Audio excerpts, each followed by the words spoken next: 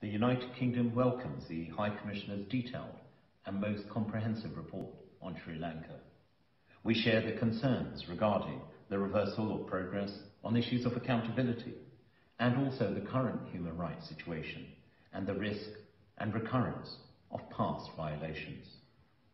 We are also concerned at the increase in surveillance and indeed harassment of civil society actors, the militarization of the civilian governmental functions, and the impact of the government's forced cremation policy on different communities in Sri Lanka, particularly the Muslim community, who continue to face persecution. We also regret the government of Sri Lanka's decision to withdraw support for Resolution 30-1 and note the previous domestic initiatives have all failed, regrettably, to deliver meaningful accountability. The appointment of senior military officials allegedly implicated in war crimes and crimes against humanity also calls into question Sri Lanka's commitment to accountability and justice.